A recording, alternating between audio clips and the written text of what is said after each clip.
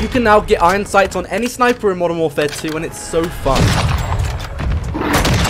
All you need to do is put on any optic, save it as a blueprint, then take the optic off, save it as the same blueprint, and then put on any optic, and then save it as a blueprint again. Your sniper will now have iron Sight, so make sure to follow for more, but